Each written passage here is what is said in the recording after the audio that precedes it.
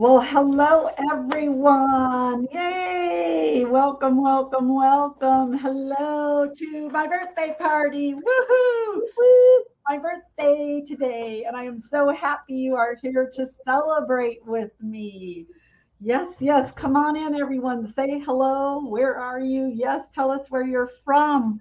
Wow. Yay! well, I'm super excited to be celebrating another birthday. Yes, Malia, thank you. That's great. yes, yes, yes. Welcome, everyone. Thank you for being here today. So, I am very excited to be sharing this special day with you. Uh, as I said, and today I wanted to celebrate with you and really speak about something that is near and dear to my heart. But first, where is my team? Hold on. there they are.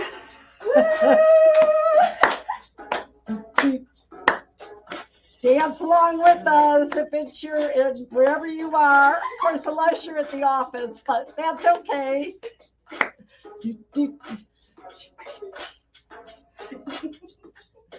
It's my birthday.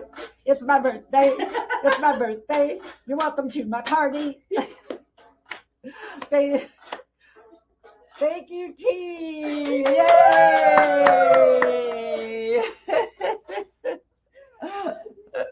uh, all right, now I guess we'll get down to business, but not business actually. We want to make this fun.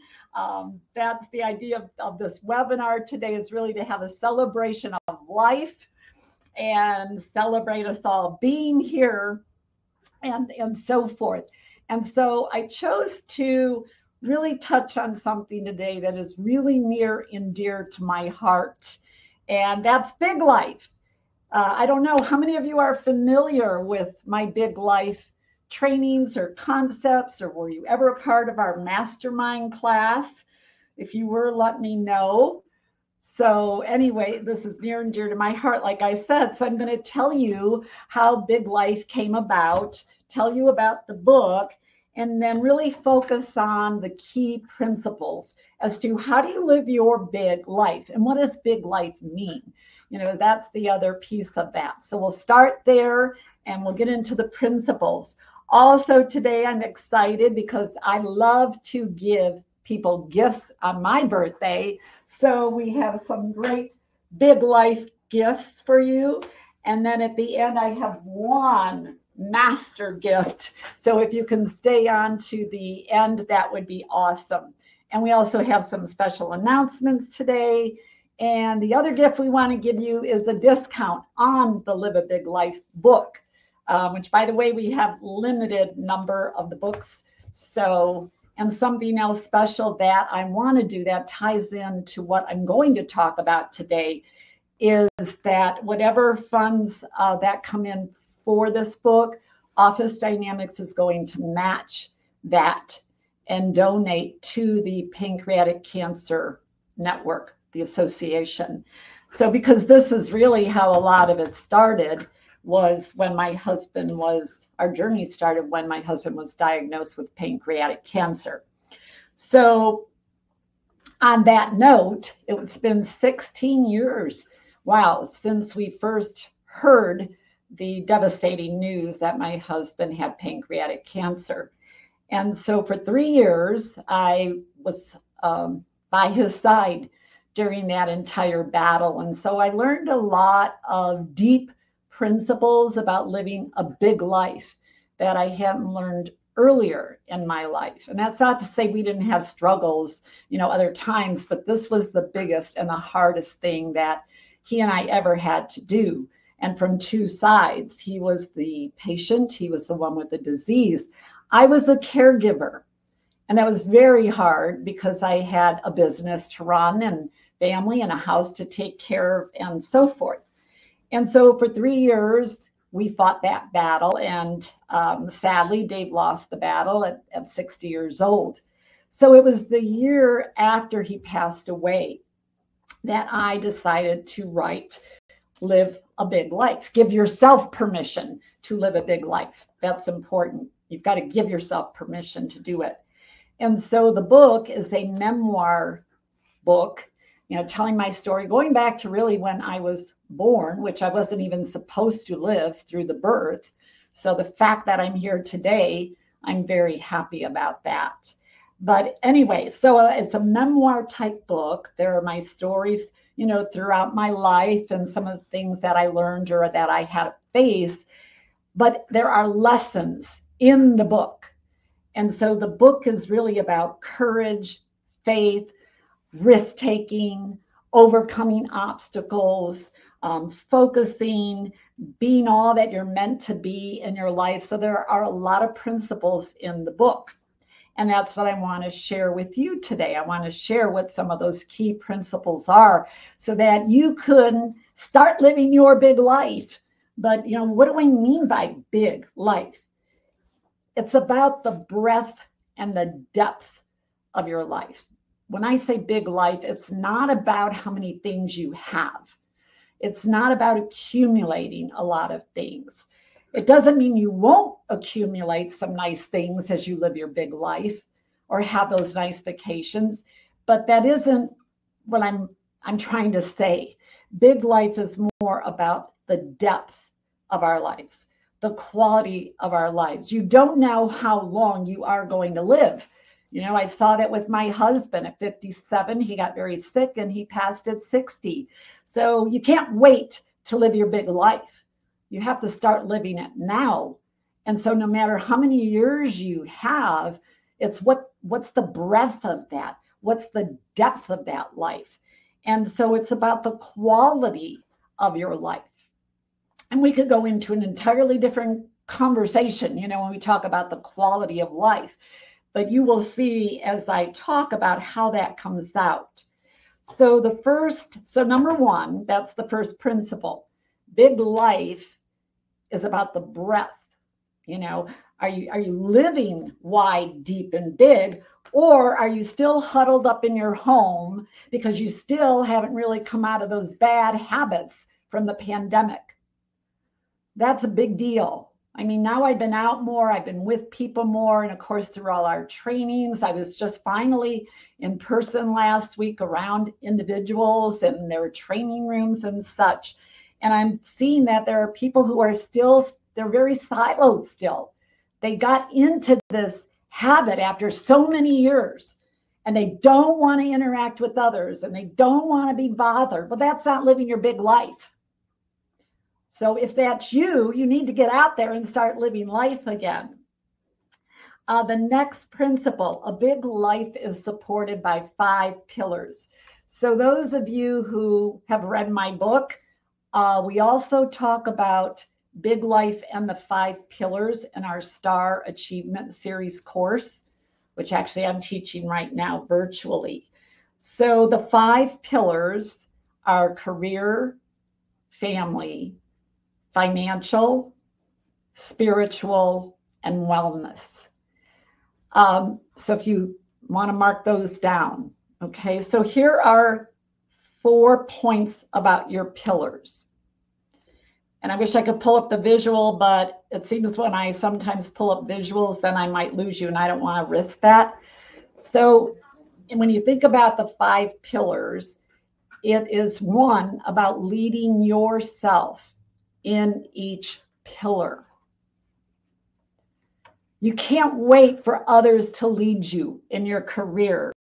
You can't wait on family members to help, you know, create and and um, host a family reunion. You know, if there's something you want to do in your family, don't wait for others to do it. You do it, you create it. If you think about your financial, you have to participate. You need to lead into that. And if you live with someone else, if you have partners or whatever, you know, just don't put it all on them. You need to participate in that you know, and what's interesting in my marriage, we were married 34 years, and Dave was the numbers guy, but he was he was so fun and creative and excellent in so many ways. But I was running my business, right? And so I'm out there doing the creating and focusing on my work. And our, it was kind of, you know, Dave was the numbers guy who handled things in the household. And I knew what was going on. It isn't that I didn't know what was going on. Um, I just like spending the money, actually. I let him worry about making sure it was in the bank accounts. but I did contribute. You know, I worked my entire uh, life out of high school. And so, but when he got very sick, I realized what I didn't know. And that was very stressful and very painful. So, you need to be very involved and understand, you know, what is going on from a financial perspective. Your spiritual pillar, lead yourself in your spiritual spirituality. So when I talk about the spiritual pillar, that could be I'm not talking about religion. Okay. There are a lot of different religions out there. That's not what I'm talking about. It's your spirit is what feeds your soul. And yes, it is your connection to that greater being, whether that is God or what whomever you believe in or reach out to. But again, we have to lead ourselves in that journey. And then wellness is for sure. You've got to to lead in that pillar. Again, if, if you think about, so here's another great example, and I'm an open book, okay? Many of you know that. Um, I like to work out, you know, and, and um, but then when we had kids, it was hard to do that. And I was working full time. And then later on, I, I wanted to do that and go to the gym and want to join the gym, you know, which we did out here. And my husband would always make me laugh because I would be like, let's go to the gym together and he would go buy all these you know gym outfits and his weights are you know to do at home but really going to the gym. And then i'd say well let's go. And then he didn't want to go. He'd say well i have to get fit before i go to the gym. And i'm like wait a minute. That's the purpose of the gym. So i could have sat there and say i'm not going to the gym because dave doesn't want to go to the gym. But i didn't. So it's up to us to lead. You have to lead yourself in each pillar. You don't wait for other people to give you permission or to lead or create the path for you. It's your life.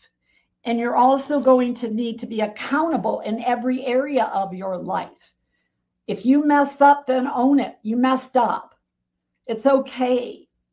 But don't blame others you know, it's great that everybody will say, well, it, it's their fault, or my sister did this, or it's because of my my mom was this way. My mother was severely uh, sick with manic depression. I didn't sit there and blame, you know, well, my life's like this because of my mother was sick. No, look at what I've done with my life. So you have to own your life. Um, with your pillars, we're still with the pillars, they're interwoven. And this is where I wish I had the visual to show you. But our pillars, if you think about um, how they're connected. So if things are going good at work, then that's going to carry over to your family you know, life. And family includes friends, pets, you know, so forth. Your neighbors are part of your family. If we are, you know, if you're stressed about finances, then it's going to be hard to focus on work, right? Uh, or maybe if you're struggling and stressed about finances, you're going to be short tempered at home. You're not going to be patient with your family. So that's what I mean that they are interwoven. So you, as individuals who are in the workplace, you have to look at your life holistically if you're going to be a stellar assistant. You just can't look at this as the career pillar. You have to realize that all these other pillars impact you for the good or the bad. And so, if things are going really well outside of work, you're probably going to be even more excited and more driven and more motivated at work than when you're struggling. So, that's the other piece to remember is the connection. Uh, the third point is to give equal attention to each pillar over time. There is no such thing as balance, please. For years and years, that's all we hear is life balance, life work balance. There is no such thing. That's a perfect world. There is. I'm 72 years old and my pillars have never been in balance except maybe for one weekend where I gave attention to my work, my family. I looked at my finances. I went to church that Sunday and I worked out. It is not sustainable or realistic. Don't put that pressure on yourself to balance your life. That is not how it works. There are times when your career is going to need a lot of attention. Your work, your job, you're going to need to be focused on it. Or maybe you're you're trying to bring in more money, you know, that you're you're struggling Okay. There's other times when your family is going to need your attention and they should be in the forefront. There's times your financial pillar needs to be in the forefront. There's times your wellness pillar needs a lot of attention. So focus on it. Don't try to balance it with everything else that is not sustainable. And that is something we teach in our Star Achievement series, but it's also something I've researched and I know personally from everything I've had to do. So please do yourself a favor, get that word balance, work life balance. There is no such thing. Instead, what you want to look at over a year's time, are you giving equal attention? to those pillars over a year's time. So if you've been so focused on your, let's say, your work life and other things and being busy, are your kids missing out? And you better plan some time with them. You know, take that family vacation.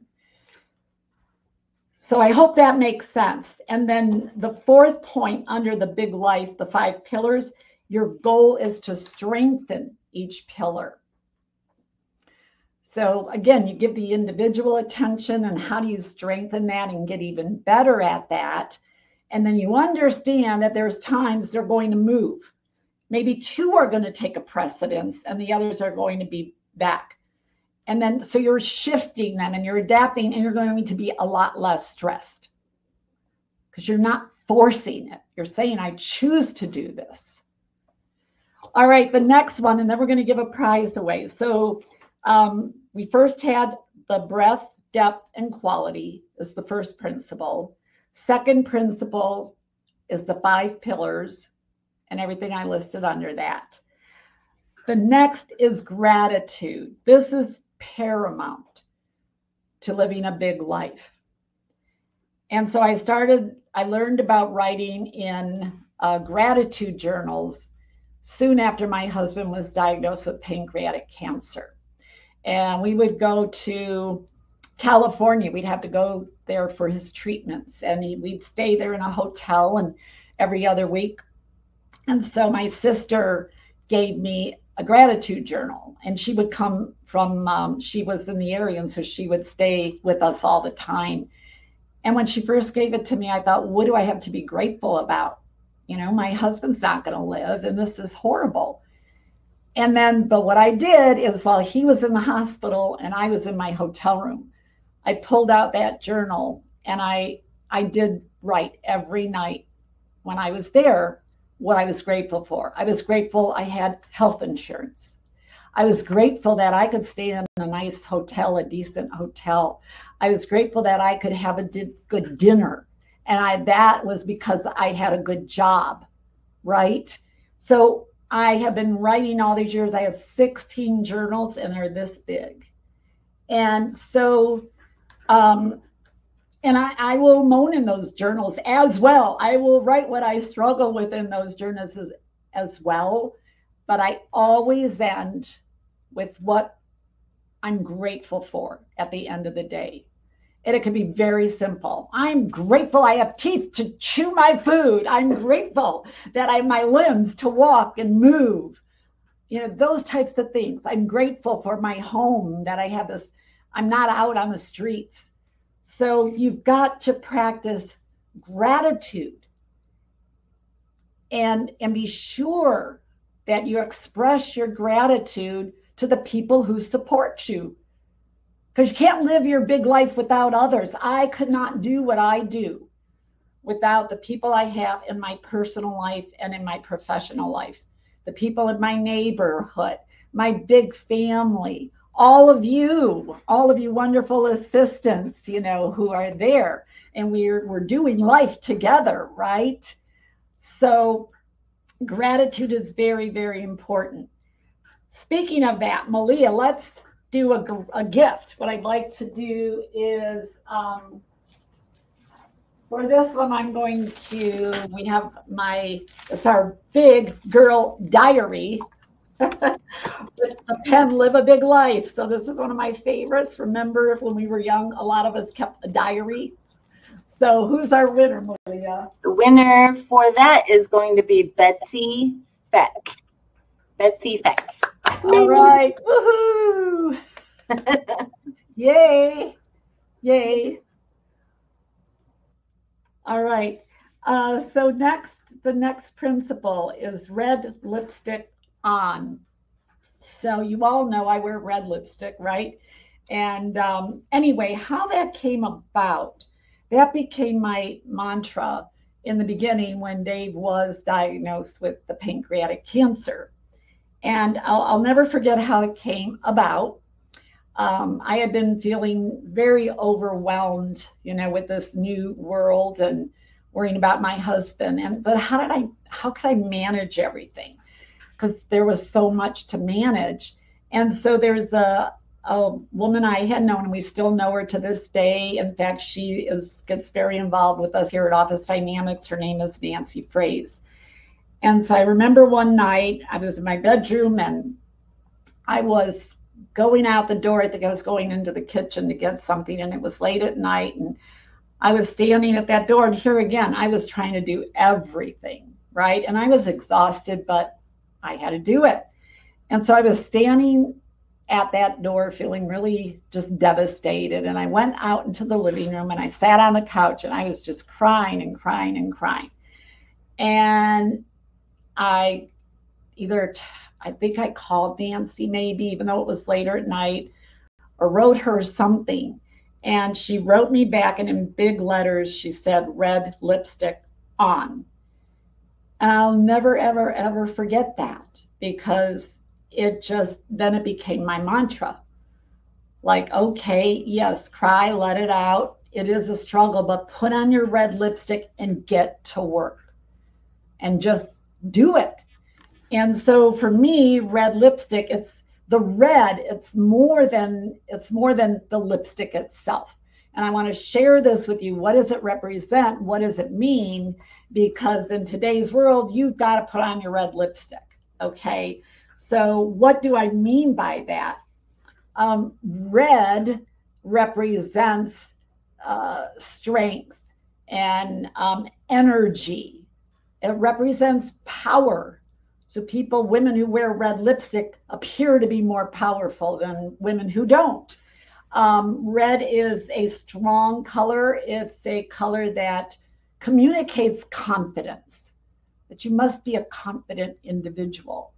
I know when I do put on my red lipstick, that's how I feel, you know, and I especially put it on when I maybe don't feel good. In fact, I don't know if many of you know, but I'm working on a book too, actually, and the story will come out in my book too, A Big Life. But anyway, when I was diagnosed with brain cancer in 2014, and I was very, very sick, and um, my son and my sister you know, they took me to the hospital in Santa Monica, California. We were all petrified, didn't know what was going on. I could hardly get up.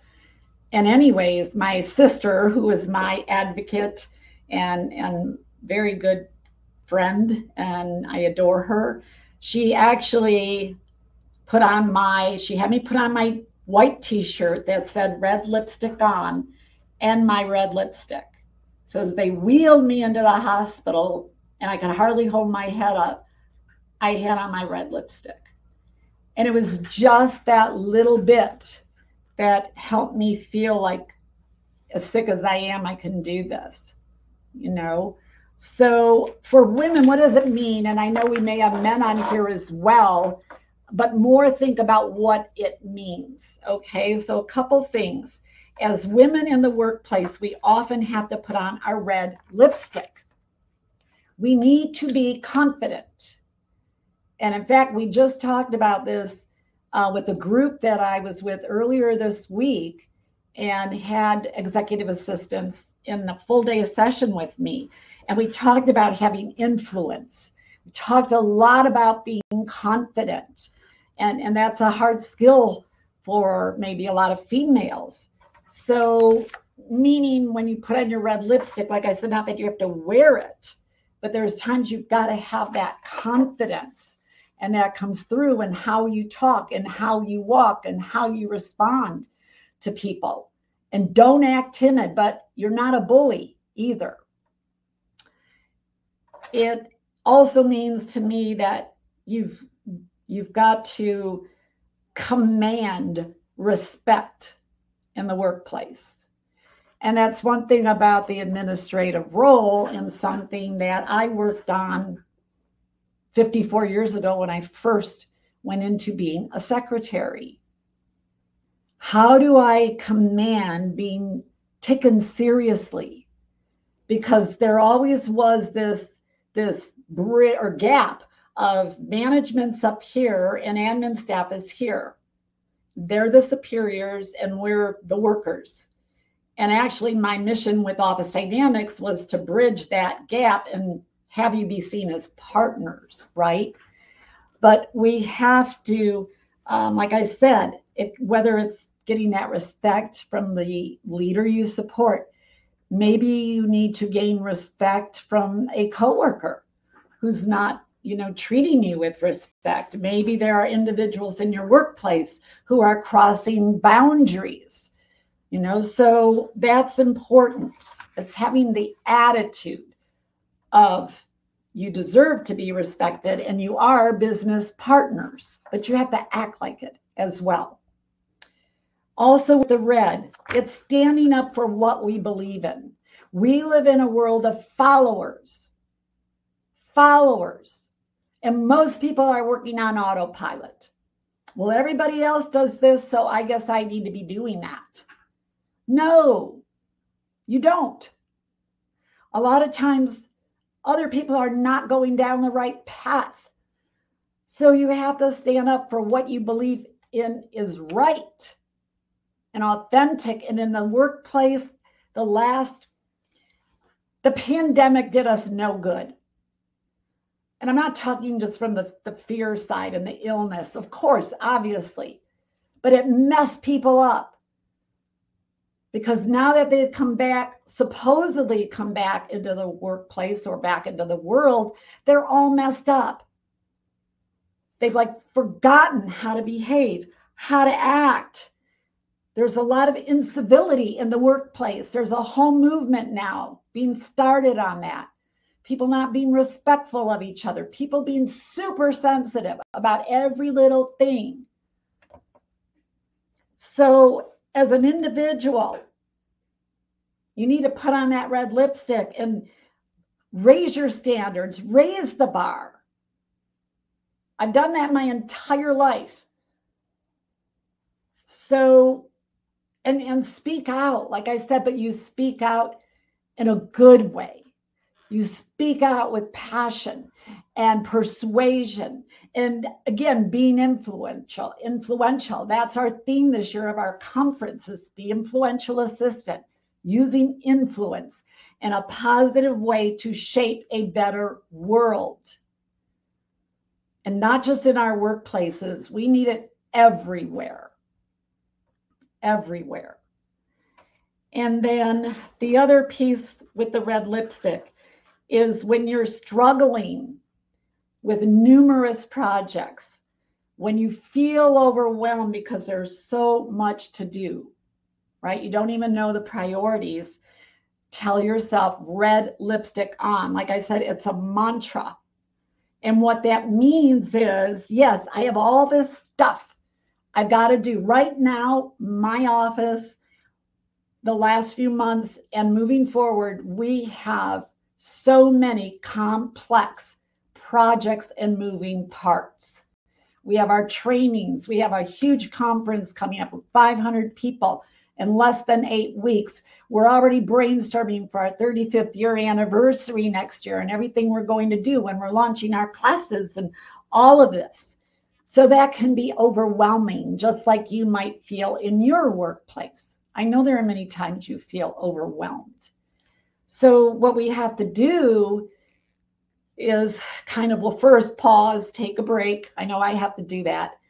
And then look at it like, okay, I'm, I'm going to tackle this but be smart about it.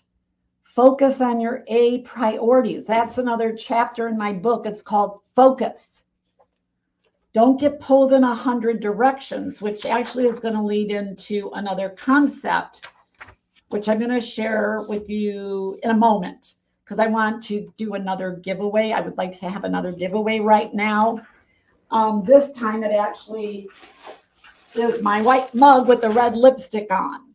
So again, that it's a it represents, you know, put that on. You've got this. You can do this. Lean into it. Don't be afraid of it. Grab it and run with it. All right. Who needs some red lipstick?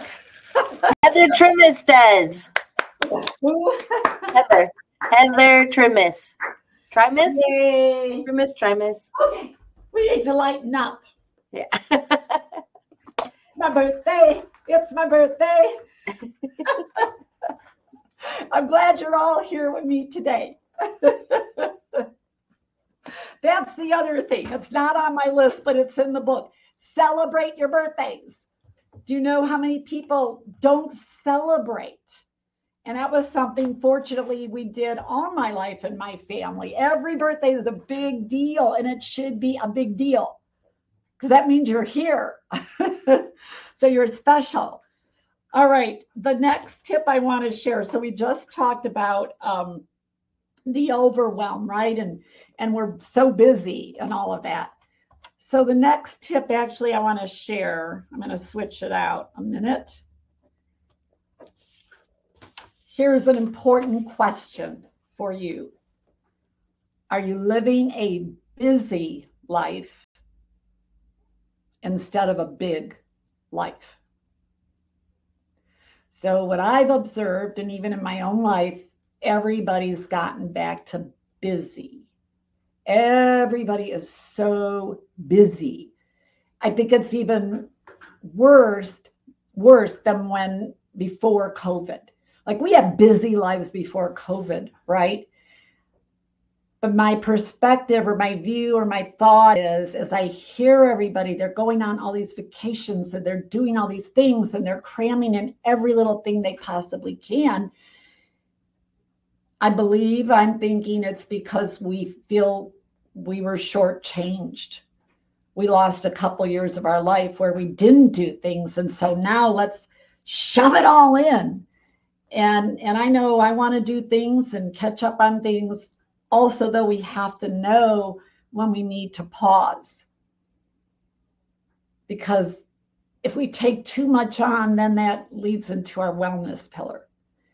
Or we become cranky with others. I become cranky. I was cranky the other day when I came into the office because I was gone for six days, but it was very chaotic and I never got a break and I was putting in long hours uh, with the work and staying up really late and then trying to travel, which isn't fun anymore. And you know, just ask Brian and Malia. I came in the, that first morning. I was a cranky person, and I told them, I said, I'm cranky right now. I need, I need to get grounded with myself. So think about your life. What's on your calendar? Are you actually spending time on the things that give you joy? Are you spending time with the people who are important to you? Or do you just you know, you meet up with friends and all they do is complain and moan and have horrible discussions. In fact, I'll tell you something really quick. It happened, I, I think, several, it was several, several months ago. And I go to the same beauty shop all the time for my nails, and they got the pedicure area, and they're there talking, right? And I'm there to relax. and just, like I said, decompress. And a lot of times the, the nail techs are just talking stuff about things that just, you know, I could care less about. It's just not real conversation or very negative sometimes. And so the one day I was sitting in the pedicure chair trying to relax, and there was another woman next to me, and then two techs, and they just got into these conversations about all this negative and nasty stuff. And did you see this? And did you see that? And did you read about this? And it was so depressing. And finally, I looked at all of them and I said, Will you stop that conversation, please? I said, You guys are so negative. I'm here to relax. Can't you talk about anything positive?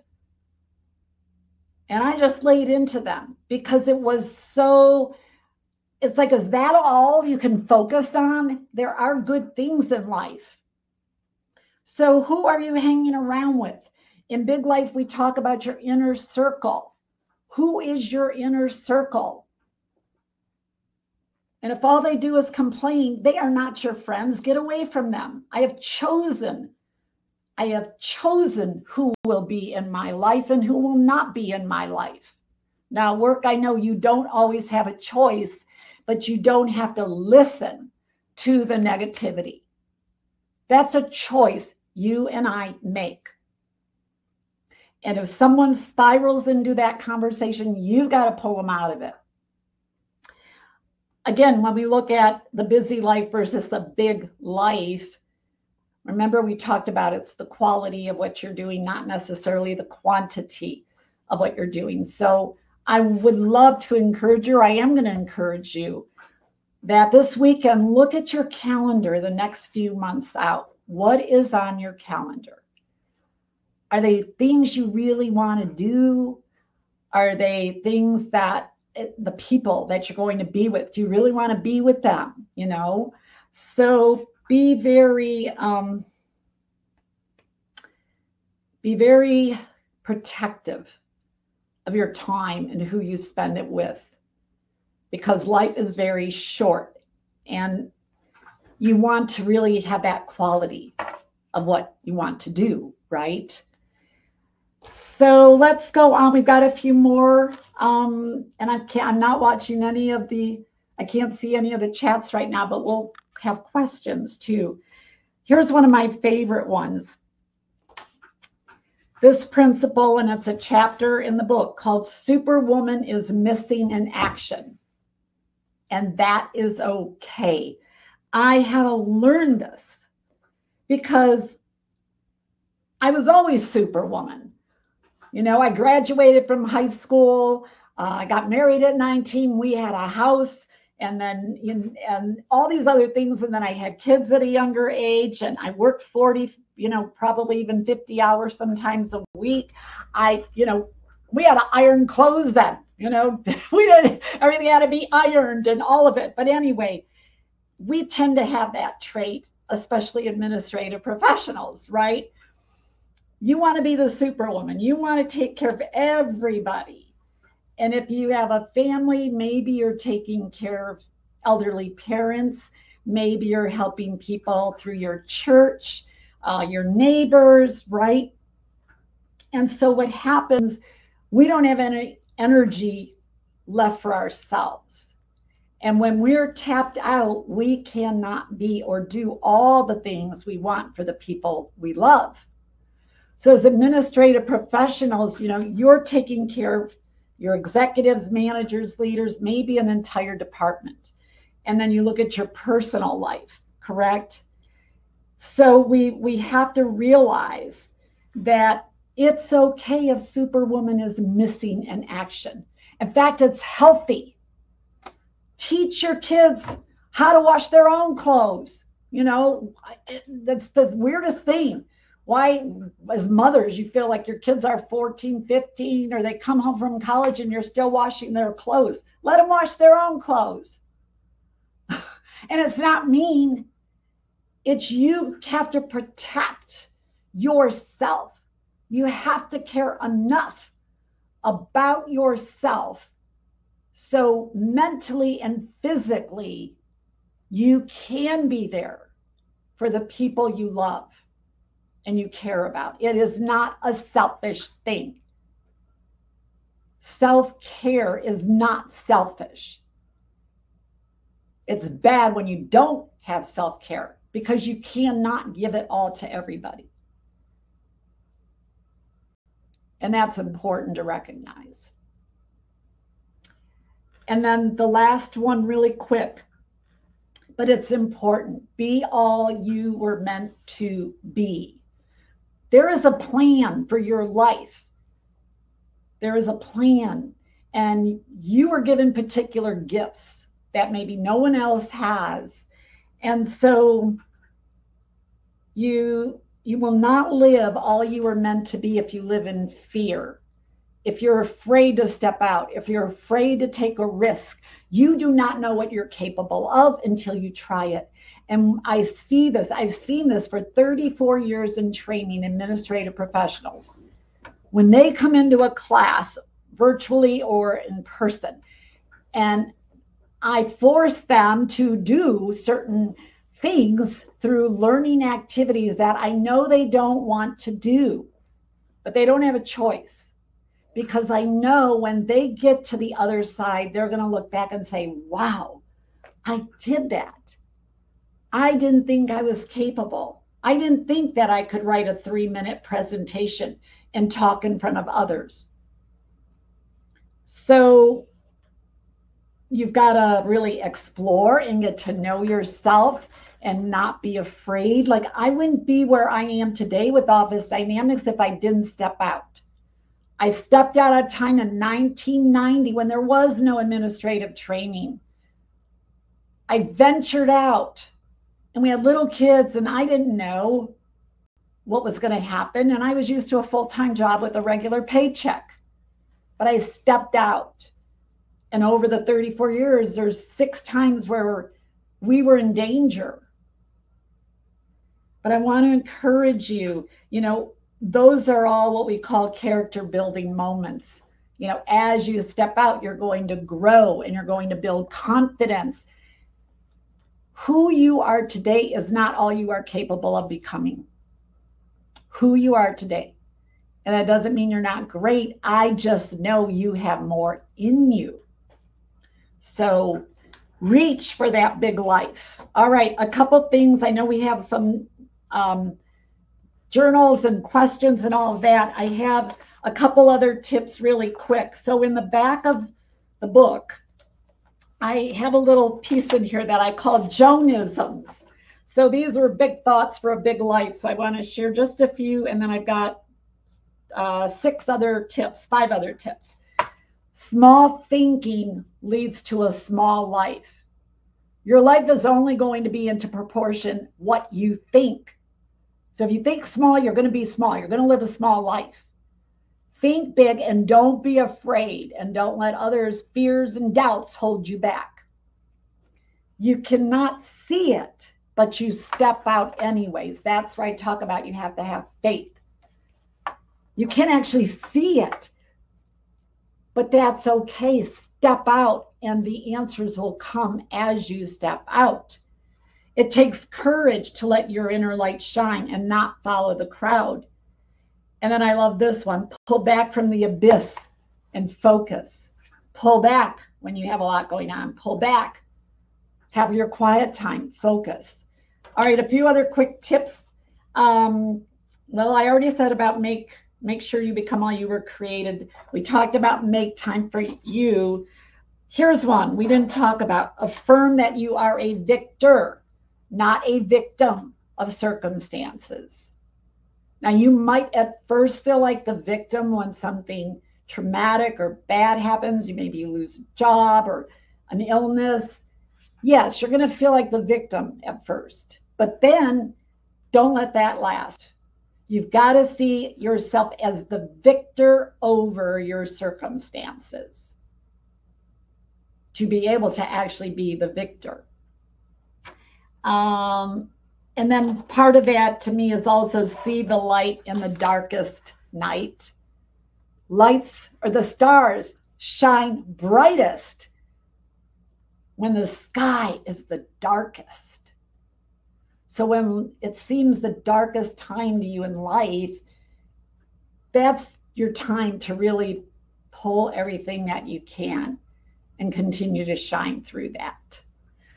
So, all right, a couple things. Um, I know time's going really fast. Uh, what I'd like to do is do the Dream Big Journal. We were just talking about that. So, Malia, who Dream Big Journal goes to Laura.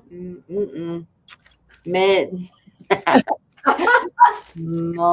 okay, spell it. M L C H A L I K. Sorry, Michelle or Laura. Laura is the first name. Laura. All right. Well, if you we're still good on time, so I hope you can stay. What we're gonna, I'll tell you what we're gonna do next. Um, this very special gift is going to be given away at the very end. Uh, I want to show everybody what it is a minute, first of all. All right. Because this also ties into an announcement that I'm, I'm excited to make. Um, so, two other times, two times, I have hosted uh, a course called um, Big Life Mastermind Group. And so we created this for when people sign up for that course and they this is what they get in the beginning before they go on their journey with me. And so it's filled with the book and then a piece of wood artwork and the, the, the uh, journal. So, anyways, this is what we're going to give away in a little while. So, my announcement is really quick is that I've decided to do another, host another Big Life Mastermind course in 2025. So, we'll be letting everybody know about that. And then, before we go to questions, um, another gift for today is if you want to purchase the Big Life book, we have a 20% discount on that through next week, I believe the 23rd.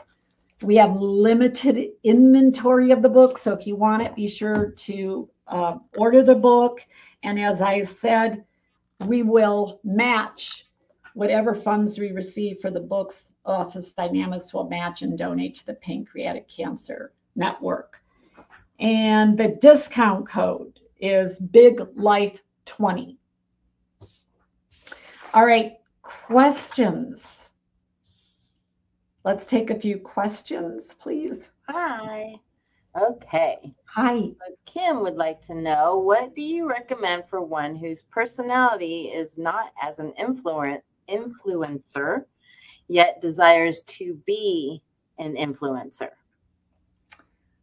Wow, you just have to come to conference.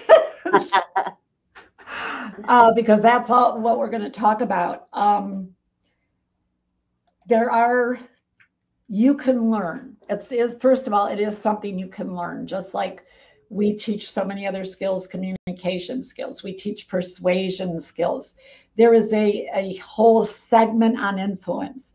So this is something again that I taught earlier this week. Uh, I don't have my book right near me, my handout book, but there is a difference between being influential and being persuasive. There's a definite difference. And I can't answer it all right now because there are several steps to being influential. What you're going to have to do is just, I mean, really research that topic and you will get the steps on how to do that.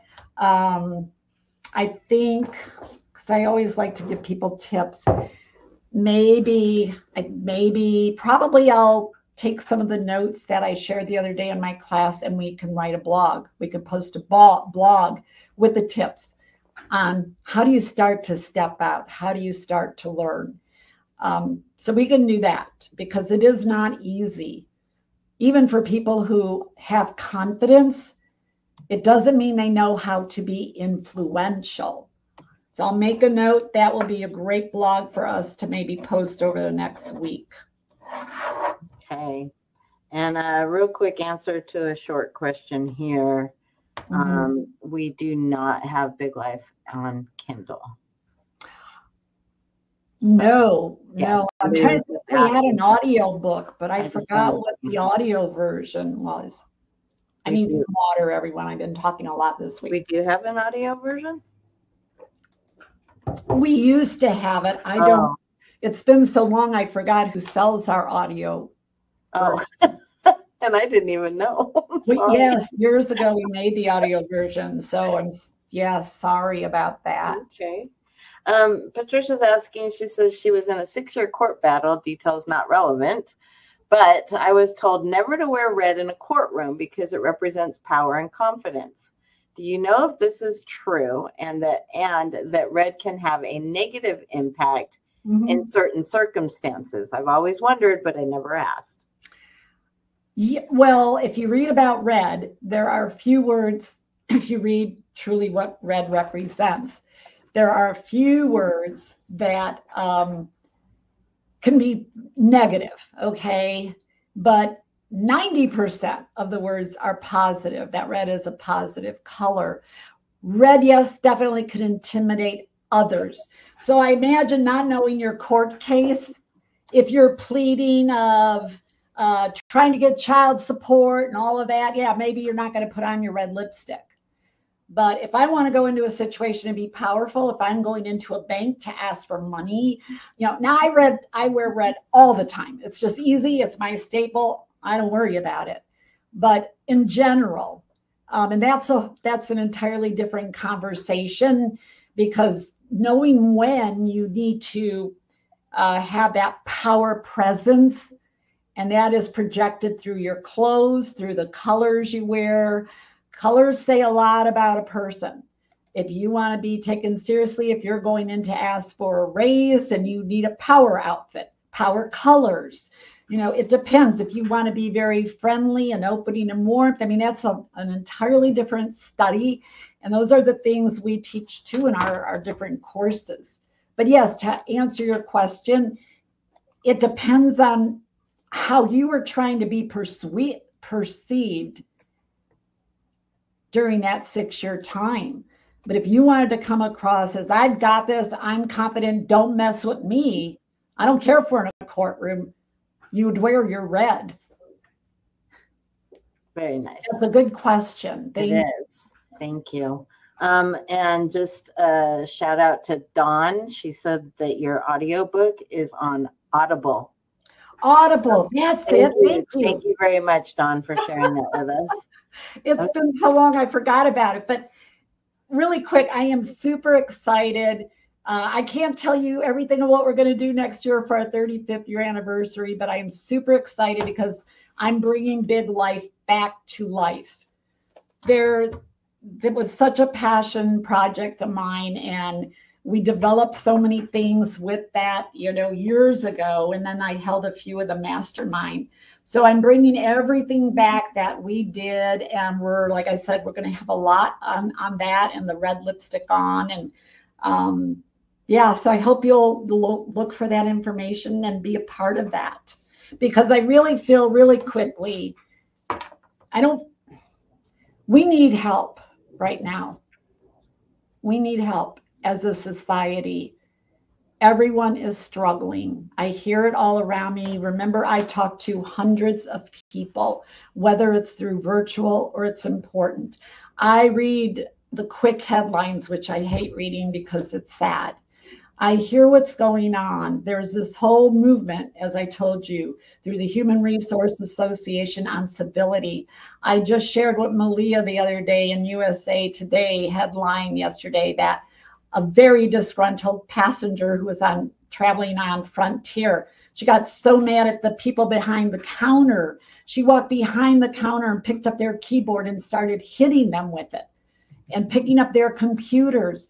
People are, even in the class the other day, yesterday in our STAR course, we were talking about attitude and getting a temperature check where we are today. And several of our attendees said they feel very restless right now our, our world's in upheaval.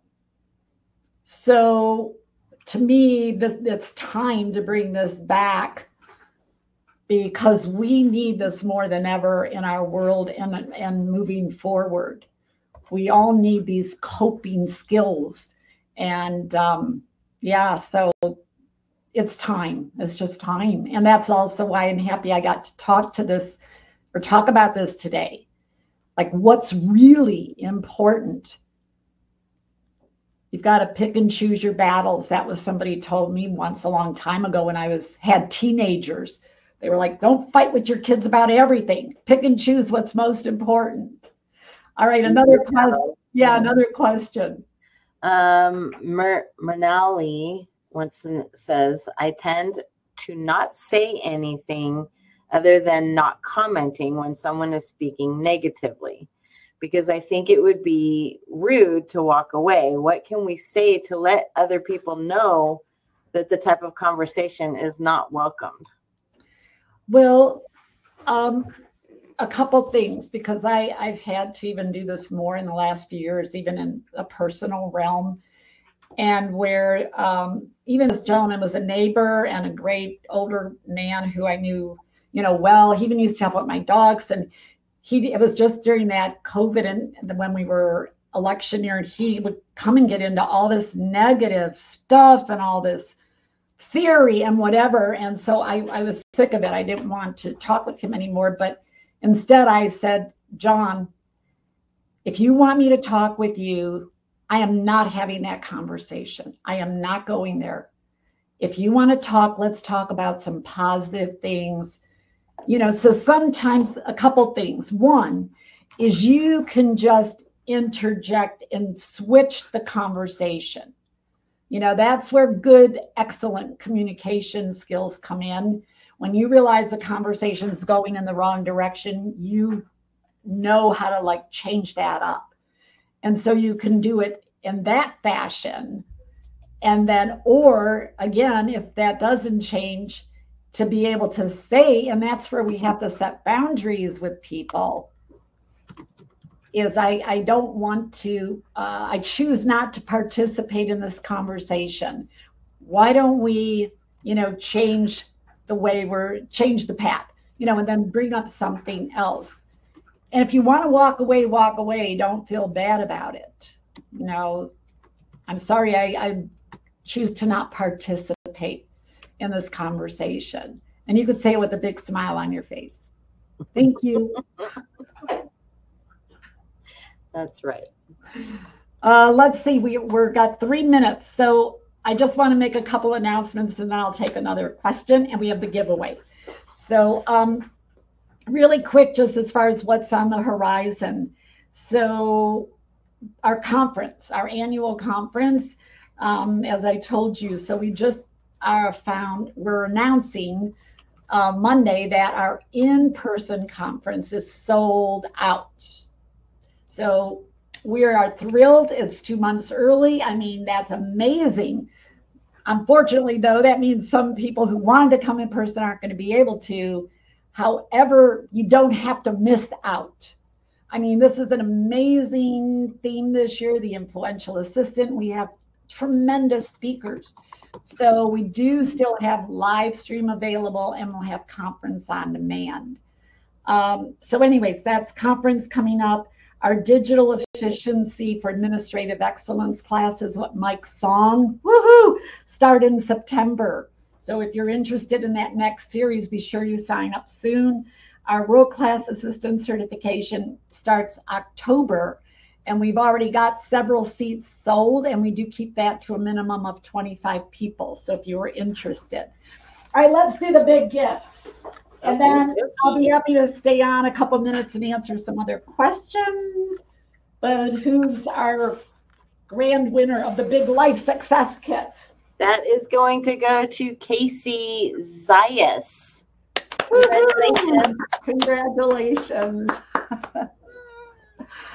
All right. Well, let me, I can take another question for those of you who have to head out. Um, so,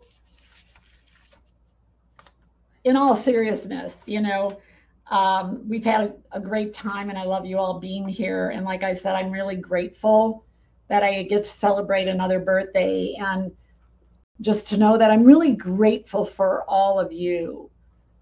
You're my buddies. I, I love this profession. I loved it since I got out of high school. Here I am 54 years later, still fighting for you. You know, it's an exciting time, and we just all need to come together and we need to support each other and we need to be there for each other. And it's tough out there, you know, for all of you. I know you're doing your very best and you're working very hard but we're here for you. We're, we're your family, we're your extended, we fit that family pillar. So, um, you know, anyway, I just want to thank all of you so much because you're a huge part of my big life. You really are.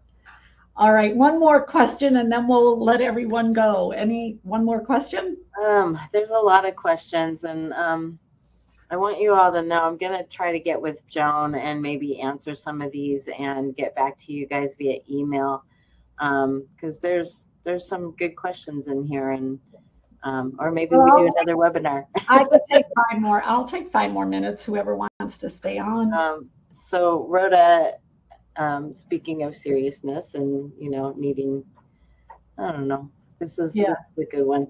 I don't know how to get peace of mind most of the time. I'm the admin at work, um, always needed by someone. I'm a leader in my Eastern Star group, needed by everyone. And at home, my family acts as if they can't do anything on their own. I get away sometimes for vacation with a couple of friends, but they always make me feel like I'm wrong for that. Is there a way to deal with all of this? Well, yes, there is. Um, is first get over the guilt. I mean, number one, mm-hmm. you know, you are not wrong, first of all, in your thinking. It's healthy, you know, thinking about the getting away and making the time and so forth. It's important um, because of what is going on in your life. So, first, yeah, get rid of that guilt. Um, you are still an individual. You were brought into this world and you have a right to live your life and not let everybody else drain you and suck it out of you. So, and then I would highly recommend you study communication skills. Yes. It's huge. We teach so many facets of communication. And and so when you learn what to say, how to say it, when you learn the body language and all of that, it gives you the confidence then of how to say it. And and then also how you respond when someone makes a comment back. And i so i encourage you and we have a lot of, of blogs on that. We have classes on that and so forth. You really have to develop the communication skills. And then you've got to develop toughness like this invisible bubble around you that says you're not going to break through to this bubble like when you're at work you know and you've got all this stuff going on trying to not let that get you and it's hard right? Because you're in it all day long and then do you need to set any boundaries at work? I mean if you're truly being overworked and you don't have the bandwidth then you need to put together a presentation and this is what we do this is what we tell people and i did it when i was an assistant listing the the quantity of the work you do, not just that you oh set up meetings and travel plans, but oh no, I schedule an average of 40 meetings a month that are rescheduled three times. I set up travel, you know. And then you have to actually present that and do your due diligence um, and then present that and then help them to see maybe that it's it is too much for you to handle so those are a few quick ideas. Like I said, if you go on our website, our blogs, I know I've talked about these things so many times. We have micro webinars. Uh, join our assistant um, exchange. Mm-hmm. Facebook group because there's over 5,000 EAs on there who post and help each other on a regular basis. That's so a great group. Ideas. Yes. Awesome, Joan. Thank you so much. Um, Karen would like to know what your connection I is. Hear you, Malia. Oh. Sorry, no, something happened with my volume. You know, in okay, go ahead. Is it? Can you hear me? Yes. Okay. Um, no, I said thank you. That was that was wonderful. Um, okay. Uh, let's see. Gina would like to know how do you deal with coworkers who are jealous and become mean girls when you try to live big? You just walk around with your big old smile. it's, I mean, I'm serious. You just do your thing. And I remember I worked in the workplace for 20 years on a lot of different companies. And girl, yes, unfortunately, women can be mean. Um, and so, how I actually look at that, instead of getting upset with it, I actually feel sorry, seriously, for those individuals. When someone can't be happy for you, there's there's something wrong. There's things wrong in their lives and that's where that comes from they don't maybe have that inner security and it is jealousy but don't let that stop you because that's their problem that's something they've got to get over and they've got to deal with so instead keep keep doing the right thing because this way you may actually inspire some people to also live their big life. It's amazing when you are confident and you're doing the right thing, you're going to touch someone. You you may not even know who you touch, but you will. And so become that shining light, become that mentor.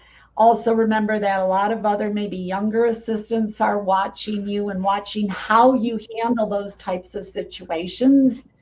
So people are watching you but continue and just don't get into that conversation. Like I said, continue to do the right thing and then find the people who are your inner circle within the workplace. And that might be one or two people. It doesn't need to be a lot. You just need a few good people in your life at work. We have a couple of comments on what you're talking about. Rhonda says, kill them with kindness. And Tracy said, yes, I was told by a friend to be foofy and kill them with kindness as they will come around and recognize how we are. Mm-hmm. That's sweet. Uh, okay, so more questions, or we're a little over. What would you like to do, Joan? Oh, one, one more. I'm like, no, I'm reading more, reading oh, Grady, what she wrote. Red can be perceived as an aggressive color many years ago, I stopped wearing red for a few years because I realized every time I wore red, I had a headache. I don't know what that's about. I don't know because I never get headaches, but sounds silly but true. I started wearing red again about five years ago. Good. You go, girl. Rock your red. And speaking of your red, the quick question, and there were a few people they want yeah. to know. They want to know the shade and brand of your lipstick. I know everybody asks. It's actually a lip stain by Lip Sense, L I P S E N S E. You've got to look for a local distributor because you can only get it through them. And the color's blue red. And actually, when we did Big Life, we had our own red lipstick too that we used to to yeah. sell. We may need to come out with that next year, bring it back. To find that but it's L I P S E N S E. Yeah. All right. Um, go ahead. We'll take it two more. It's 11 okay. 8, but go ahead. Um, Nicole wants to start a local administrative professionals group in her area, but she's having a difficult time with getting people interested in particip- participating. Um, Leslie piggybacked off that and said she started an admin group, but she's struggling to hook admins in reviving the pre-COVID interest. Mm-hmm. How do we get people interested? Oh, that's a, a, I mean that's really a good question. Um, one, it's great that you want to do that because it, it really is very beneficial when you can meet and be together. I will say yes, it's definitely probably very hard today in a world that is used to, you know, the remote and the virtual world um, and even the the big um, organization IAAP. I used to belong to that for many many years, and they always we had our local chapters. You know, you met on a regular basis. You were in the same room. You heard great speakers. And then several years ago, uh, they were changed that process. And a lot of people wanted just these virtual meetings, but they don't work the same. So, what do you do? You really have to first get your thoughts together and where you create your presentation um, on what are the benefits of that. What will it do by coming together? So you, you really have to sell and persuade people. And I started an association, and when I was living in Virginia Beach way back in the early 90s, it was the Star Achievers Association. And so I went out and found people. But again, get be very thoughtful and, and really thinking about why. Why should they come? Why should they take their time? And list as many benefits as you can. Have it very organized as to how how will that run? What will it look like? Um, and then I don't know if you're going to reach out to particular assistants. Uh, in my day, what I did is I found out because this was you had to work for a CEO or C-suite executive. So I looked at the big companies in our community, and now you have LinkedIn, so you can see who these individuals are and reach out, but make sure you have everything together um, and focusing on the benefits. Awesome. And there's more, but that I'll just stop there. So would, would one, um one more question. would going on our um the Facebook group that you're talking about maybe like throwing out there where you're from and mm-hmm. what area you're in and maybe get some people Oh, that's a great idea. Mm-hmm. That's yeah, I love that idea. Woohoo! Yay, Malia. What's this? Yeah, go. Oh my I. I'm so happy it's Friday. I know. It's been so busy around here. Okay. Uh, let's see. How do we funnel all of our ideas, energy, and motivation in a realistic way to the limitations in our role? I'm thinking that's a good question because I don't know if you asked my team, I don't probably hide too much of my enthusiasm. Um, I just do it, but I, I'm not sure I'm clear on the question. Read it again. How do we funnel it in today's All world? of our ideas, energy, and motivation in a realistic way to the limitations on a role. The role. Okay, sorry, I didn't hear that. Uh, so when you have your ideas or uh, you know what you'd like to see happen is to um, list those. Now, whether you write them down or you use the word whatever, and putting those ideas down and really thinking about it, you know, those ideas and what's the purpose of them? How are they going to benefit your department or your organization or your leader? So, yes, you do have to be realistic in that sense and within your role. And then think about, as you think about that and the realistic part of it, who would have to be involved? Do you have the bandwidth to do that? Um, how would it tie into your organization? Is it going to help them save money? Is it, you know, you have to be very specific, again, with some due diligence on that. So it's great. You should have good ideas and look for ways to streamline processes or come up with a completely new way of doing something. And then you're right, you have to be a little practical or realistic as to do you have the capacity to do that and what would it take? And then maybe you have to narrow your ideas down. You can't, you have five ideas, you can't do all of them. Pick one to start. What's the one with the most impact? And choose that one. And then see the success of that before you go on to other ideas. Okay. I'm losing my voice, aren't I? You are. You are. All right, I keep saying one more, but for real, just one more. And Oh. then I bet you were going to go. I am going to go. I know what you need to do. Uh, Um, go ahead. Oh It's hard goodness. no. Okay, when starting a new position, what do you believe are your top five tips for success? In what was the first part? When starting a new position, what do Uh, you believe look, are your So top five? first of all, number one, listen and observe. Just listen, listen to what people talk about, observe, don't go in and start making suggestions. You know, it kills me when somebody comes in new to a company and they've only been there a month and they want to change everything. It's like you don't even know what's going on here.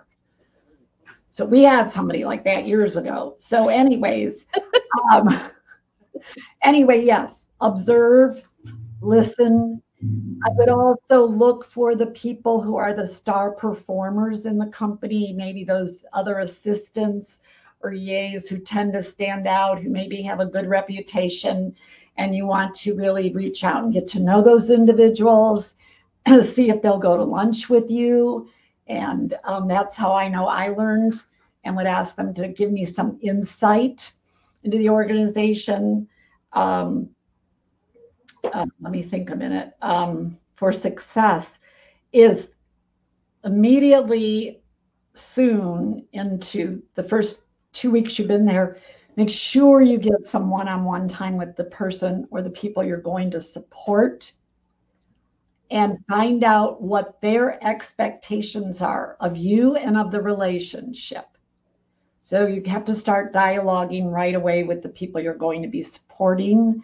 I think also, um, oh my, there's so many good ideas when you're first starting out. Take notes on everything. Do not assume you're going to remember everything. And then be curious you know, ask questions, be in that kind of mode of curiosity. And, and in terms of tell me more, if somebody tells you something oh, that's interesting, can you tell me more about that? So you want to get more context around things. So those are a few ideas. I think these are all good questions we can write blogs about or, or we're doing a lot of content now. We have our monthly um, administrative assets. I believe that goes out monthly. So those are things we can address as well. Mm-hmm. So again, in, in closing, really quick, remember with the book, okay, the code is Big Life 20. Um, we have a limited quantity, and please look for what we're going to do next year. We have a lot of great plans, cool. things to you know bring you into all of that. And what else? Malia, anything um, else? We're forgetting. I'm forgetting. No, you covered everything. And also, also, also, also, I something very important. Malia is a big part of my big life. She'll be with me eight years this month. And, you know, I couldn't do a lot of the things that I do if she wasn't here you know, keeping an eye on everything and helping run the show. And, you know, when I am cranky or down or whatever, you know, Malia is very in tune to that. And she knows how to come in and calm me down. Or what do you bring me, tea or something? And you'll say, now just stop and breathe, Joan you know so i do want to really thank malia for thank you. it's been a fun journey the past eight years and we have so many more, more to come many more, to come, come. We, we're going to live our big life all of us at yeah. Office Dynamics. We're going to live big. And we want to you to share life with us and be on this journey with us. So thank you um, can i can i stop for one second? Because yeah. a, a, a last minute question popped in they want to know about the awards, including the Mickey Mouse. this one, this my Mousecar. They want to know about all of them, including Mickey Mouse. So well, this probably is one of the most wonderful, most. Oh, I'm going to get emotional about it. so I was really blessed to. Um, the highlight of my career was being asked to by the people at Walt Disney World to come in and teach their assistants in 2018. And I have been in the career training for many, many years. I've had amazing clients, Procter and Gamble, and all kinds of big clients. But the reason why it was so special with Walt Disney because Walt Disney World, their their university, they are recognized in the training industry as the gold standard. No one does training better than Walt Disney World. So the fact that they called me and chose me to lead their EAs in the Star Achievement Series over six months was an honor, just the biggest honor I've ever had. And they were like a second family to me. I was there every month and I bonded with everyone there and they they just treated me so very special. And so when we were done, they presented me with this which they rarely give out to people. And so this is their version of the Oscar award and this is mine. So this is very near and dear to my heart and I'll never forget my memories there with all of them. Um, this award is also truly special. I received this two years ago from the Admin Awards uh, group and Sunny Noonan and her team. I'm very grateful to them. It's the Jeanette Castellano Lifetime Achievement Award. Only two had been given out up to when I received it. And that was her Sunny's mom. And she was a lifetime uh, career assistant until I think up till 80 or something like that. And so I was presented with this award. So this is also very special um, recognition for my contributions to the training industry and pioneering that. This award is actually something you could get. At the this, this is actually the Joan Burge um, Innovation Award. Innovation Award. Sorry, and this is for this year. We will be uh, announcing a winner at our conference in Las Vegas, and systems, you know, are always innovating and creating special things. So this is an award an individual can win. Um, and uh, so they attend the conference. It's in person um, being an in-person attendee, and then they submit to us why they believe they deserve that award. So we will be presenting that, and it's something you could possibly get next year if you come. Are we good? We're good. We're All so right. good. All right. Thank you, everyone, so much. Thank Take care you. yourselves. Have a great weekend. Bye. Bye.